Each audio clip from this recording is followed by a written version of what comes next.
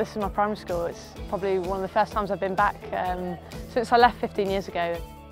Mr Epps, who, who's here today, is obviously still here and he taught me cricket um, when I was younger, year five and year six. I joined the cricket club. I've been really impressed about how, how laid back she is, how welcoming, how easygoing she is, and that kind of reflects how she was as a pupil. There was always a sort of cheeky side to her, which I can still see there uh, as she's come back in today.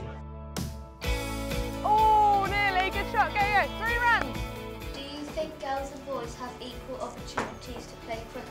Well, I certainly did at this school. I loved it. I, was the only girl, but um, the team and the boys made me very much feel sort of part of the club. There's so many more women's clubs now. It's so much more normal to, to being a woman in sport, not just in cricket. There's been a lot of embarrassing photos and embarrassing stories brought out today, but um, it's really nice to sort of come back to where it all started. My parents still live down the road and uh, drive past the, the sort of field quite often, and I always get a buzz when I see girls and boys out there playing cricket.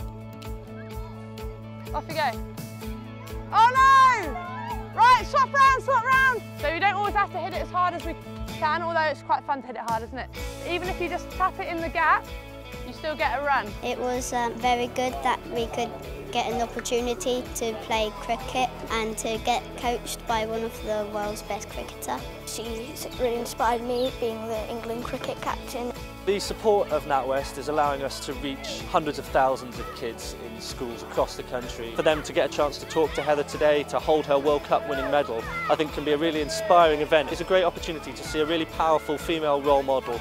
Children always dream about being able to play sport professionally and, and if they can see someone that's achieved that, then that really does inspire them and make them feel that it is possible for everyone and anyone to do that. It's a lovely thing for me as well, really nice to, to kind of come back and reflect on where I started and, and what, what I've achieved since then.